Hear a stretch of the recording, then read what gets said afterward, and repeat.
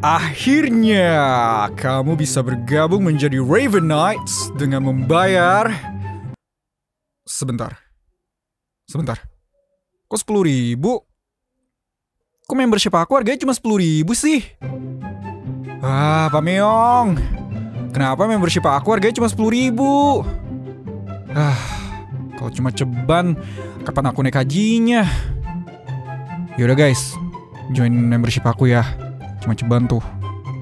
Kamu bisa pakai emoji. Hmm, nama kamu jadi hijau uh, bisa nonton uh, stream membership only. Sama benefit tier yang lainnya baca sendiri ya. Oke. Okay? uh, mie ayam depan komplek aja masih lebih mahal